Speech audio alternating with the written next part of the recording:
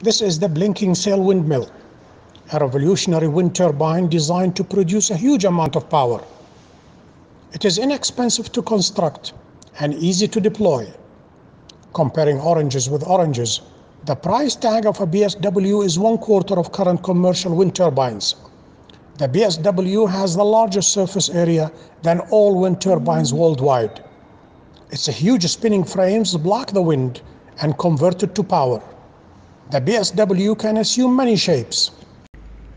In this configuration, the spinning frames are linear and spin as one solid massive sail. The linear frame can be designed in many forms. It can consist of double-sided units, seen here as a blue box. Here, all the sails are at the same distances from the blue box, thus forming a single flat layer blocking the wind. The sails can also be at different distances from the blue box. In this case, when the wind strikes each frame, the wind can move in four different directions, either from both sides of the frame as well as the top and bottom of it. The linear frame, as seen here, may consist of a single-sided unit. Here, the sails will be at different distances from the single-sided unit, but they are situated on the same side of the frame. For the first time in history, a sail windmill let the wind pass through the sail but it extracts all the wind energy. Here the sails may pop out by one meter from the front and one meter from the back, creating two meters of empty space for the wind to move dynamically between the sails. This creative design will provide an ample space for the wind to move forward either from the top, bottom, or sides of the sail. The net result is a frame with a huge surface area blocking the wind and yet the wind can freely and dynamically pass through it. The BSW can be as short as 20 meters or as tall as 70 meters. A massive BSW with 40 meter by 40 meter spinning frames can be deployed in wind farms, while a medium size can power large hospitals and universities. Micro BSWs are ideal for powering homes. The spinning frames can range from 10 meter by 10 meter up to 40 meter by 40 meter. The most striking feature of the BSW is its dynamic design.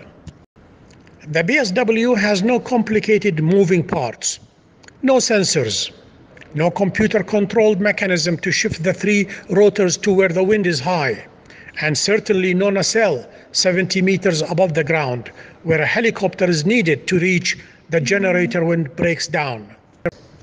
In fact, the BSW has the absolute minimum number of moving parts in comparison with any commercial wind turbine. Its only moving parts are the sails. Compare the BSW's minimalist design with this huge German wind turbine. This horizontally spinning wind turbine has several moving parts. All moving parts are enclosed inside an nacelle. The parts are expensive and controlled by a complex mechanism. They require expensive maintenance and cost enormous amount of money to replace or repair. When any of these expensive parts break down, the time needed to replace them will be long and costly. So what are these expensive and complex parts? A yawing mechanism consisting of four big motors to rotate a 100 ton nacelle with its three rotating blades.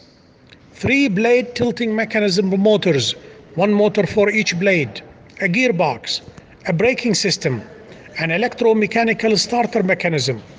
All the parts mentioned above are adjusted by wind velocity sensors and wind direction sensors and electronic controllers.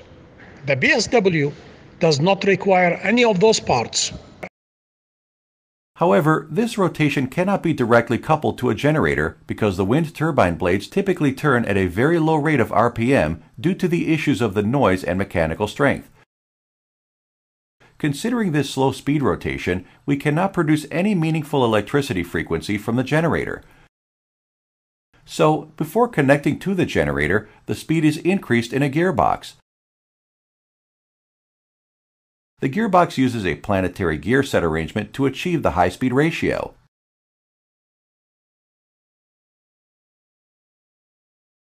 A brake also sits in the nacelle.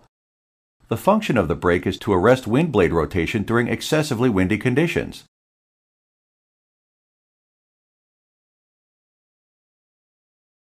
Consequently, the electricity that is produced is transferred through the cables towards the base where a step-up transformer is situated.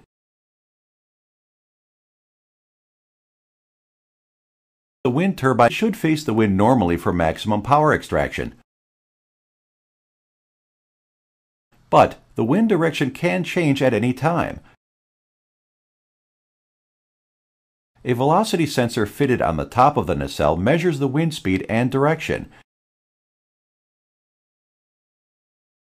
The deviation in the wind's direction is sent to an electronic controller, which in turn sends an appropriate signal to the yawing mechanism to correct the error. You can see how the yaw motors turn the nacelle. Thus, the wind turbine will always be aligned with the wind direction.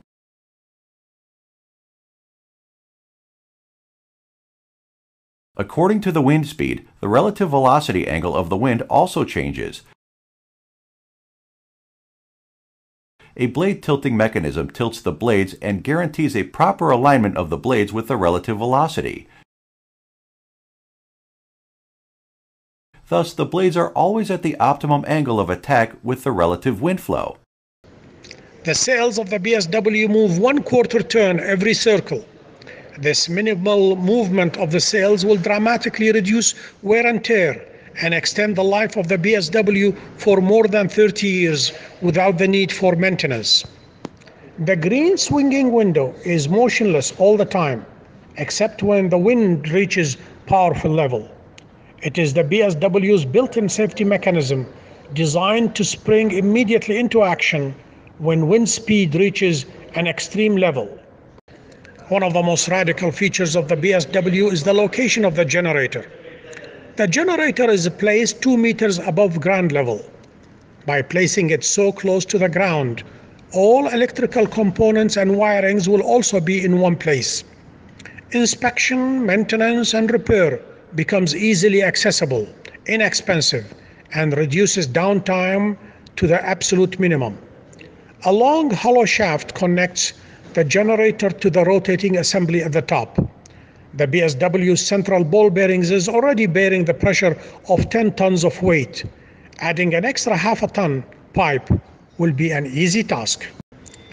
A linear BSW with 20 meter by 20 meter spinning frames may weigh 15 tons, while the helical version may weigh 16 tons.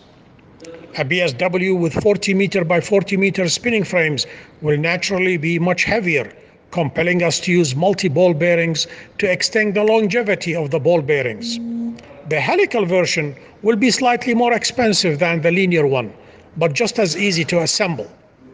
Instead of two days, perhaps it will take three days to construct. But when mass produced, the difference in production cost between the two types will be 5% only. In this animation, the connectors tying up the frames may look as if they are made of steel. In fact, they are made of strong wires.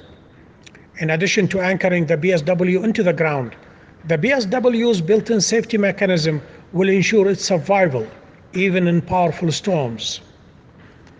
As the wind gets stronger and stronger, the moving flaps gets pushed higher and higher, thus allowing more and more air to freely pass through the widening gaps. One of the most distinctive features of the BSW is how easy it is to start spinning. Unlike other heavy wind turbines used in wind farms, the BSW does not require a complex electromechanical system to help it to start spinning.